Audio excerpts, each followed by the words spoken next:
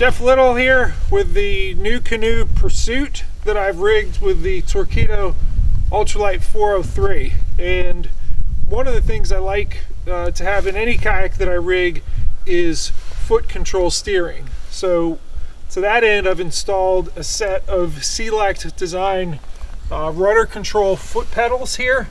And I've installed them using the track that's already in the uh, the canoe Pursuit on the floor there.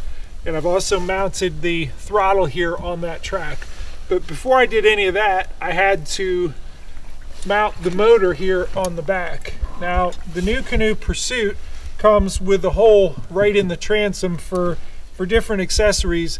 And with a little bit of work, I actually was able to put the horizontal mounting pole of the Torqeedo Ultralight 403 up through there.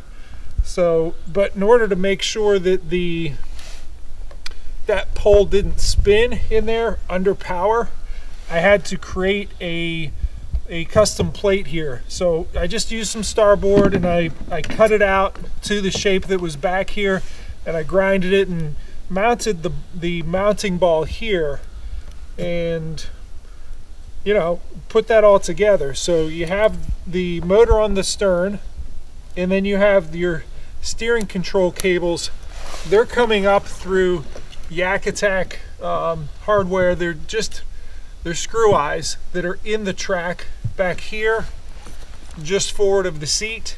And then it goes up to these, these pedals. When you come shallow, you want to be able to lift the motor very quickly.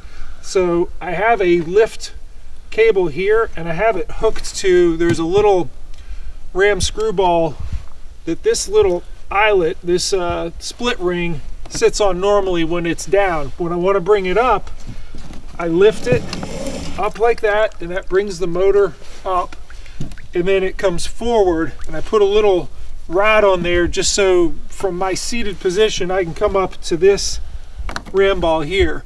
So when I let go, that stays in the up position. The motor is up and it's good to go. I've had this out on, on a lake earlier today and it was very responsive. Turned in circles very easily and um, is a pretty nice setup. So NuCanoe Pursuit with the Torqeedo Ultralight 403.